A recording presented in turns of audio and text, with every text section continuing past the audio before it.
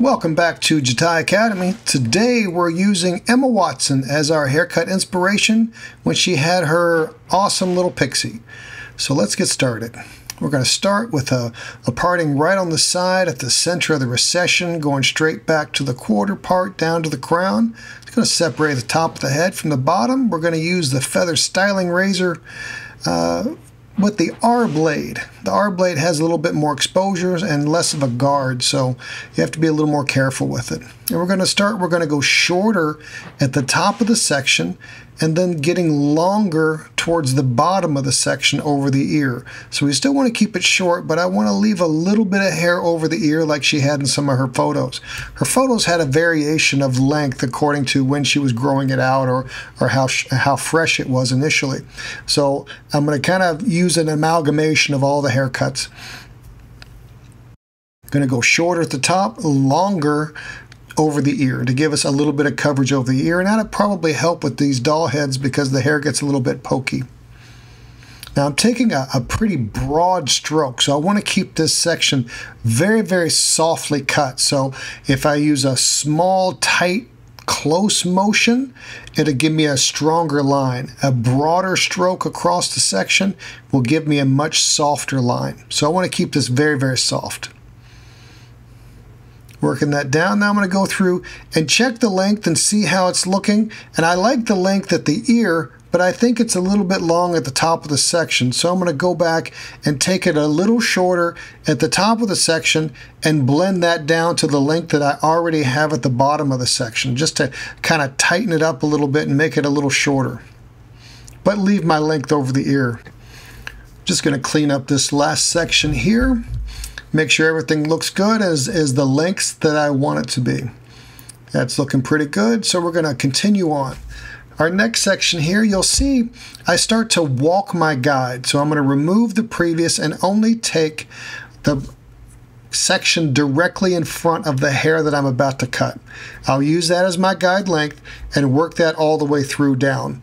Now once I get back past the mastoid, I'm going to start going much tighter towards the nape, but I'm still going to walk my guide. So I'll use my guide length at the top of the section and work that down into the nape, and I want that nice and clean at the nape. Section that out of the way. Pull this straight out from the head using my previously cut section as my guide length a real broad stroke and feathering that section all the way down to where I get to a nice, tight, clean nape. Be sure to follow us on social media at Jatai Feather. We'll keep you updated on everything that we're doing and new posts in the Academy as well. Check everything out, make sure it blends smooth, and now I'm just going to continue to walk that guide all the way back into the center back still pulling it into the previously cut section, trying to keep the same broad stroke that I was keeping throughout the whole haircut. The thing about a walking guide that I really want to pay attention to is that I want to keep all my section sizes the same. So the more consistent that I can keep each width of each parting, the smoother that my transition is going to be from front to back. If I take inconsistent section sizes, I'm going to end up with some really lumpy layering from the front to the back, and then I have to go through and spend a lot of time cross-checking that. So the more diligent that I am in the beginning, the more time it's going to save me in the long run. And still continuing parallel sections all the way until I get to the very center of the back and trying to keep everything as consistent as possible.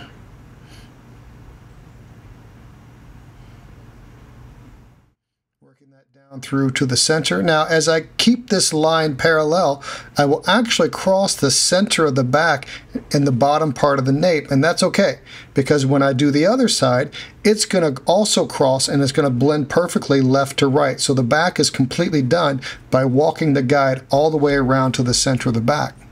So consistent section size, tension, and razor stroke, you'll get good results. Once I got that finished, I'm going to go through and check everything out, make sure it looks like I want it to, fine tune anything that I need to, and now we're going to start fine tuning the section right over the ear. So I've left that a little bit longer so I can go back in and fine tune it more precisely to fit the way that the hair grows, the thickness and the cowlicks and all that.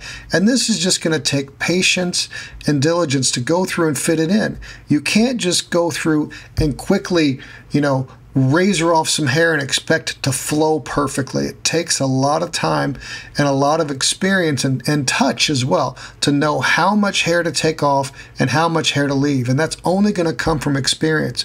So I'll start with a, a really light touch and take a little bit, check it out, take a little more, check it out until I get it to kind of lay in and fit exactly like I want it to. And I just want a little peek over the ear. I don't want to cut it completely outlined over the ear. I just want to have a little bit of the ear peeking through.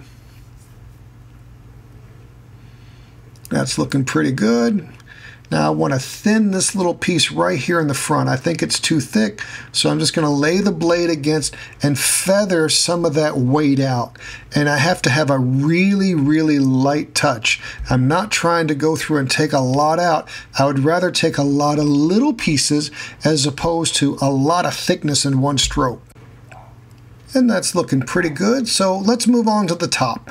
Now in the top section, I'm going to take a, a, horizontal section straight across the top. I'm going to pull this up and whatever length that I feel it needs to, I'm just going to lay my thumb against the blade and cut that length off and round the shape out to where it blends in with the sides and it rounds around the top. So I don't want a square shape, I want a nice soft round shape.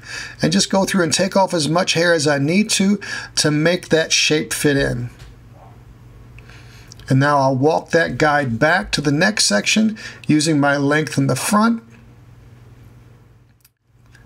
laying my thumb across the blade, cutting any extra lengths off. Making sure it blends on both sides. And I'm just going to continue to walk this guide back. So as I walk, I only take a little bit of the previous section, pull it back into the section that I'm cutting, and then use that as my guide length, bevel the top, and work that all the way back until I run out of hair.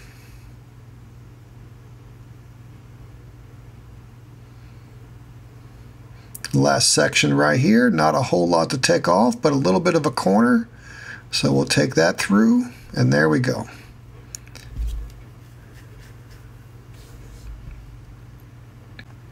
Now here I want to go through, put some texture on the top and just channel through and remove some weight. This is very, very similar to if I was to use a, a regular scissor and channel cut through on the top, except the only difference is I'm using a, a razor blade. So I have to be careful to not use a lot of pressure and use a lot of force. And since this is the guarded blade, it gives me a lot more safety so I don't have to worry about cutting their scalp, cutting too much of the hair, and I can get just a nice kind of thinning and separation throughout the top. Comb some of that hair out of the way, add my next section through. Now by combing the hair across the head and using my razor to pull little sections down, that gives me a little bit more tension of the blade against the hair and actually will cut more hair. Separate around the top. I want to kind of fine tune that in around the edges so I have a little more softness around the front. And I'll also go through and do the top again. Initially, I combed everything from left to right. Now I'm going to comb everything from right to left so I get an evenness in my movement and an evenness with my texture. If I do everything just comb to one side, then I won't have the same movement on both sides. So I want to comb it to the left, then comb it to the right, and that way I can make it really, really neutral on top. After I've got the top thinned like I wanted and got enough texture to it, I'm going to go through and start working on our fringe, on our bangs. And this is very, very similar to what I did over the ear. I just want to start with a small little piece delicately and gently run the blade lightly across it a lot of times to create a lot of softness and a lot of an angle to the cut. And I just whittle it down. I take a little piece, I look at it. Is it short enough? No, take a little more. See where it wants to separate naturally, and then use that as a, a way to sep separate and segregate each individual little section. go through delicately and gently with the razor and just start fine tuning it in. This is just a, an exercise in patience and diligence. Use a sharp blade as well because a sharp blade helps a lot. Subscribe to our YouTube channel, give us a thumbs up, and click the notification bell, and we will let you know whenever we have new content that's being posted. And here I'm just going to repeat the same motions, the same kind of technique that I did on the left side as on her right side. And I want to get her bangs as balanced as possible. And that's just going to take a lot of fine tuning and making sure that everything fits and flows just perfectly. So again, patience and a feather light touch. That's the trick. Looking pretty good. I think that that's pretty good. Now let's blow it dry, get our shape in there, and then we'll fine tune it more if we need to. And I think the overall shape looks pretty good. We got a nice crop in the back, we got a little bit of hair over the ears, and we got a short little fringe.